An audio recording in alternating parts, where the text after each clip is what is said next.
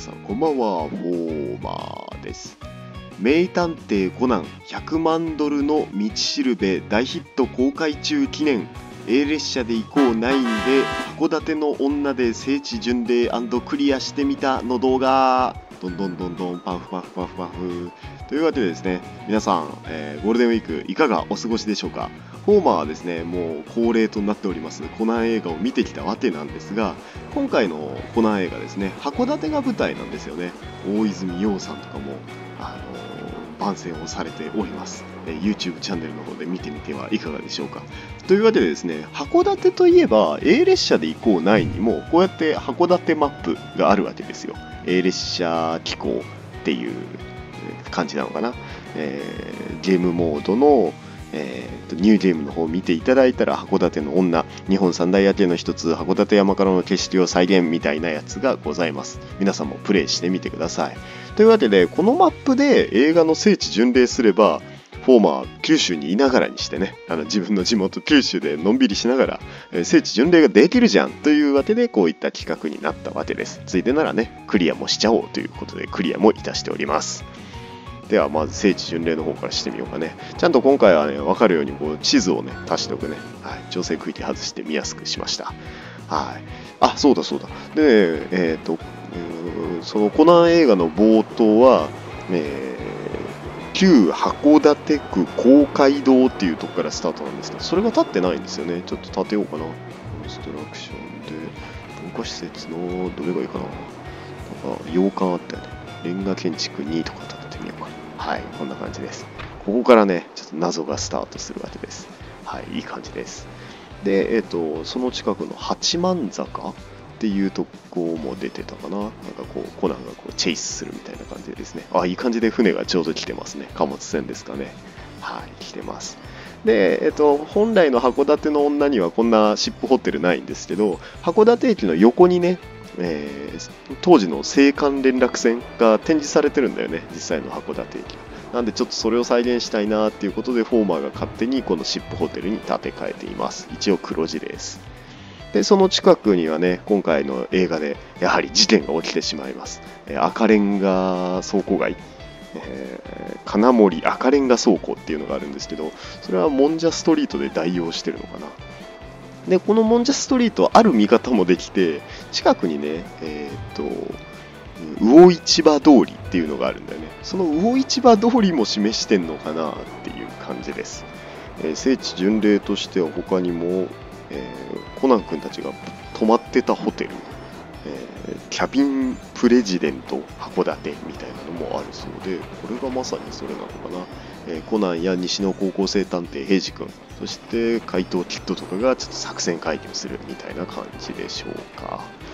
あとはあとはそうですね。あとは新函館北斗駅当然あります。えーと、途中からアガサ博士とあと商店探偵団たちがこう手伝いに来てくれるところがねはいこんな感じで走っています。いいですね。あとは何があるのかな。あ何よりね五稜郭だよね。五稜郭がこっちの方で。これだね。もう五稜郭はだって五稜郭として 材料があるからね。建物があるからね。はい。こんな感じで、えー、まさに映画のキープレイスになっておりますので見ていただければと思います。聖地巡礼はそんなもんか？あとはあとはそうだね。まあ他にもいろんな場所が出ますけどちょっとこのマップでは再現しきれないしきれてないところのもあるんでぜひ皆さん、えー、名探偵コナン100万ドルの道しるべ五両星って書いて道しるべです。ぜひ見に行ってみてください。そうだ。何よりもね 見てほしい聖地がね函館運輸所なんだよね。何かっていうとここでコナン君たちバトるんですよね。でなんなら、えー、キッド様もここに来てくれるみたいな感じで、え、道南伊佐リビ鉄道の車両であったり、えー、函館ライナー733系とかも飾ってあります。あとね実際は40なんだけど国鉄塗装のやつもいてでその中でね、えー、コナン君たちが作戦会議するみたいな胸熱のシーンもございますのでぜひ見てほしいなと思います。これはちょっと58なんだけどね。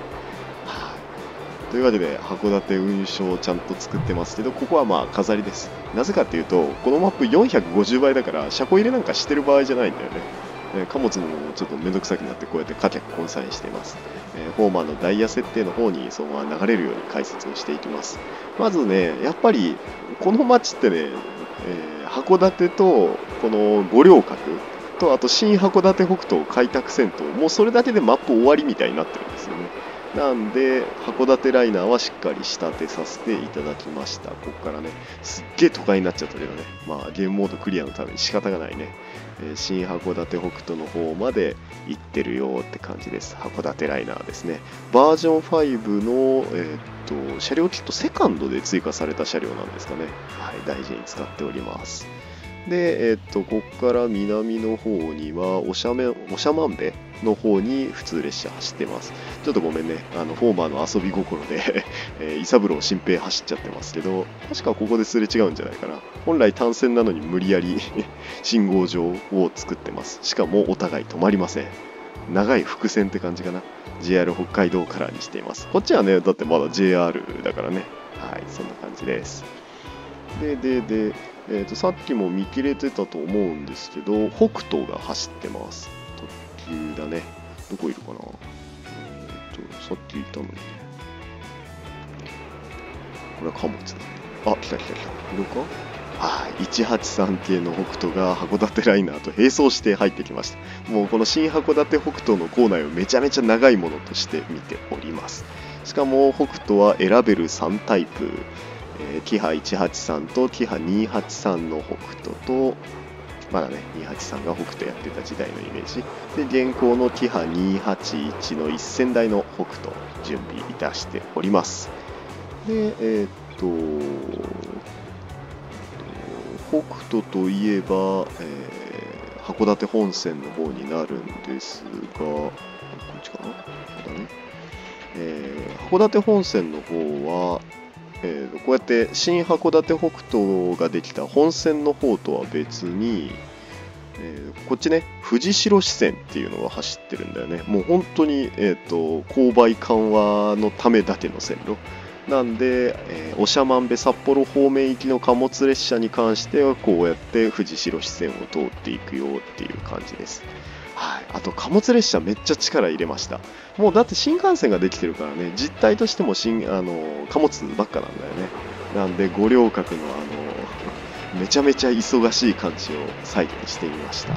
五稜郭からはねちゃんとこう港への視線も作ってみたりしてわざわざそっちに入れたりもしてるんですけど基本的には貨車のつなぎ替えがここで見れるっていう感じです、えー、貨車を置いてで切り離してで着回してきてでつなぐっていうのをもうパラレルで同時進行でやっております。いいね。ごめんね。全然コンテナないね。だからこの街今もなお進化しているっていうことなんでしょう。はい、はい、して、えー、EH800 はないんでちょっと EH500 で代用しております。で、え、左側が、え、道南伊佐リビ鉄道の方で右側が DF200 で引っ張ってるのが、え、新函館北斗というよりは長万部方面がね函館本線の方になります。で道南伊佐リビ鉄道の方は、えー、とちょっとこのひひなんだっけな七重浜をちょっとだいぶ改造しました。何かというと貨物が行き違いしてる傍らで旅客列車が行き違えるようにみたいな感じになっています。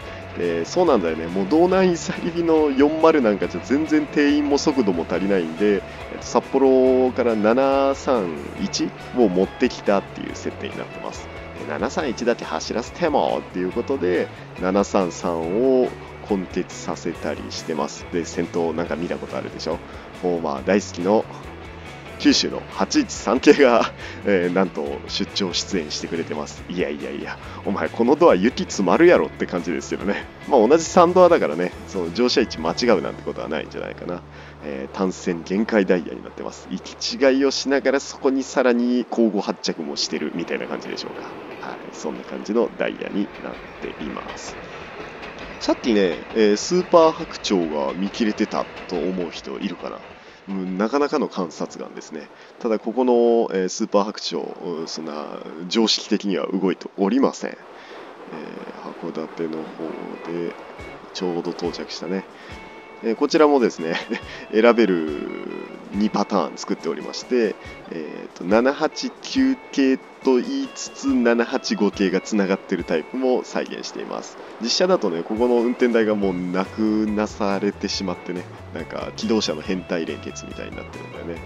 でこれがですねえーとこれが分かりやすいかな。今新函館北斗の方に向かってます。そうなんですよ。おかしいでしょ。なんで新函館北斗の方に向かってんだよと思うでしょ。この先の動きを見てみましょう、えーここから七重から、えー新函館北斗の方に行くんだね、えー左側に分岐して右側にグインって曲がってるのは富士富士白支線です。でねもうあまりにも貨物に過密になったんでもうここから新函館北斗の構内です。もう長い構内っていう感じですね。でここからの動き見てみましょう。あれなんか変じゃないですか。てかねあの この対向のスーパー白鳥もだいぶおかしかったよね、えー何があるかというとなんとここから、え新幹線の車両基地を通って新函館北斗の新幹線のホームに入っていきます。どういうことやねんっていう感じですね、えー最近話題なんですけど、え北海道新幹線がこういよいよ通った時に北海道新幹線の車両が函館駅あのさっきの函館の駅の方に入る、えー乗り入れられないかみたいな話があったりなかったりするそうなんです。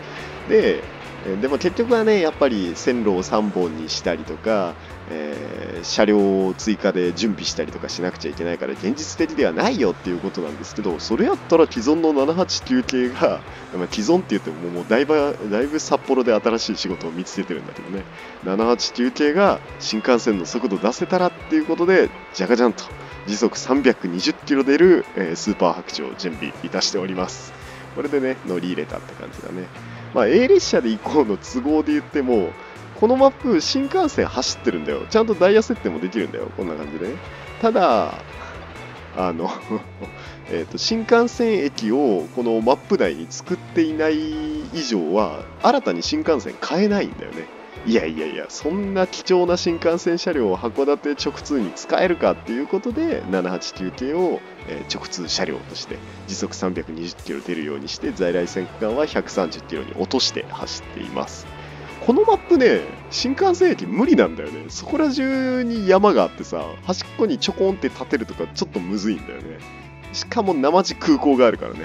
はい。空港の方は、えー、と結構にぎわらせて、えー空港だけでも結構も儲けが出るようにしています。今期売り上げが、えー、いくらだいくらだ？ん？216億円に対して124億円の、えーえーと利益が出てるっていう感じです。飛行機もちゃんと来てくれてます。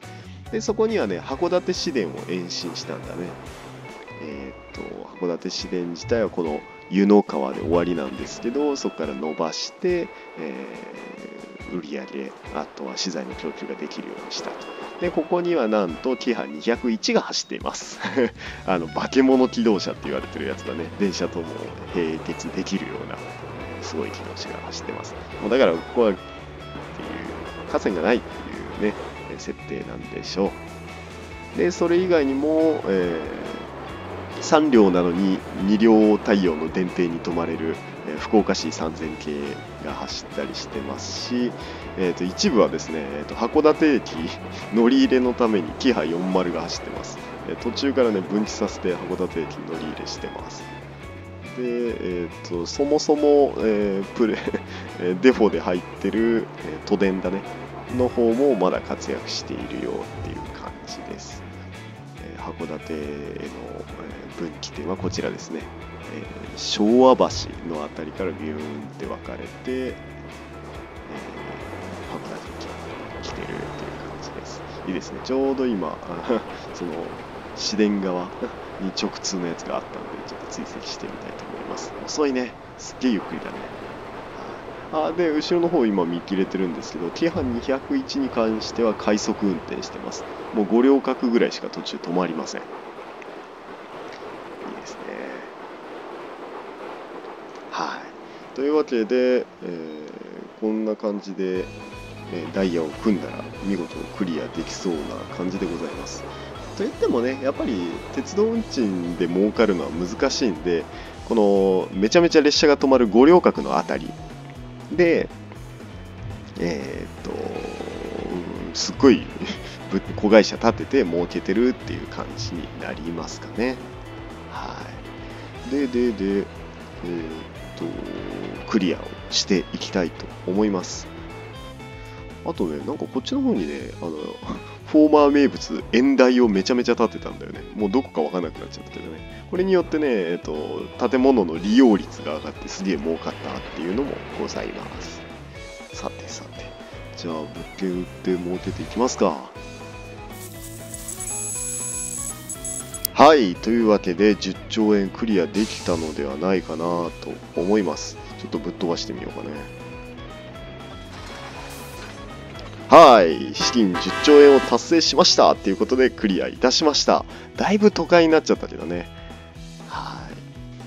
この空撮のシーンで思い出すんですけど、えっ、と、キッドが平次をこう助けるみたいなシーンがあるんですけど、それが怪盗1412、あの怪盗キッド側の原作のダークナイトで、こう悪者を最後助けるっていうところで助けられんかったみたいなそのシーンをちょっと彷彿とさせる感じで好きなんですよね。多分そのオマージュなんじゃないかなと思うんですけどね。フォーマーね本当に函館はまだ行ったことがなくてですね。一応ねあの浜那須で あの通り抜けたりえっ、とトワイライトエクスプレスで通り抜けたりはしてるんですけどね。そうだ言い忘れてた。あの貨物の中には一応トワイライトエクスプレスとえっ、とカシオペアをこっそり混ぜてあります。だから貨物と同じ筋なんだけどちゃんと、えー、寝台特急も走ってるよって感じですね。もう時代設定むちゃくちゃだけどね。どうやって青函トンネル走ってるんだよって感じです。実際このマップで遊ぼうと思うと,、えー、と450倍なんであなんか思ったようにダイヤ組めないっていう人もいるかと思うんですけどもうそういう惑星やと思って遊べばいいのではないかなと思います。えー、五稜郭の、えー、西側の方には貨物港がございましていろいろ持ってきて余剰になった資材は貨物港から、えー、貨物船が売りに出てくれるっていう感じになってます。いいですね。なかなかデフォルトでねこんな港が潤沢にあるところも珍しいかなと思います。その、えーと、五稜郭の 貨物港に関してはフォーマーが作ったわけなんだけどね。もし興味があったらぜひ遊んでみてほしいなと思いますしコナン映画「100万ドルの道しるべ」の方も見ていただければなと思います。いいですね。なかなか飽きないよここずっと見てたらねこう機関車の着回し付け替えもう一瞬だからね。はい。五稜郭の港の方から今入ってきてるところかな、えー、動画の真ん中のところだね。で DD DF200 をここで分割してっていう感じだね。で片や、えーと、港の方に行くために、えーと、平面交差して入ってきてるやつが車庫で折り返しをしているっていう感じです。でそうかと思えば道南伊佐リビ鉄道の方から EH800 分する EH500 が到着して分割するかなっていう感じですね。あすごい。283と183の北斗ですね。183のそのなんだっけグリーン車キロ。もうなんか嬉しくなるよね。乗ってみたかったな。あちなみに、えーと、実際には A 列車では収録されてないんで、えー、違う車両で、なんだっけ、ジョイフルトレイン的なやつで、えー、補っております。ごめん、形式名が出てこない。はい。それで補っております。いいですね。あ、やばいやばい、ぶっ飛んじゃった。はい。というわけで、無事クリアすることができました。えー、A 列車で行こう9、ぜひ購入してみて、函館の女クリアしてみてください。また、コナン映画も見てみてください。この動画、高評価とか、えー、チャンネル登録とかいいんで、ぜひコメントいただければ、自分もコナン好きだよとか言っていただけると嬉しいです。最後にね、ちょっとせっかくなら、なんかないかな。あの、あ、いたねカシオペアだ、カシオペア。はい。実はね、えっと EH500 に紛れて ED79 も走ってます。カシオペア10連で引いてるみたいですね。10連で引いてんの？マジかお前ら。熱いな。ご視聴ありがとうございます。